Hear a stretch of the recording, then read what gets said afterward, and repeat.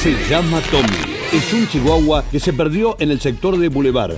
Es de un matrimonio adulto. Cualquier dato comunicarse al 358 6038 848.